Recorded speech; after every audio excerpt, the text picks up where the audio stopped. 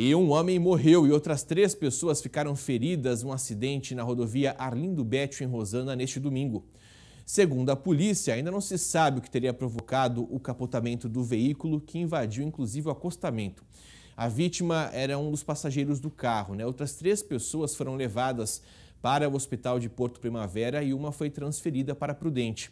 A perícia vai apontar as circunstâncias, a dinâmica desta batida.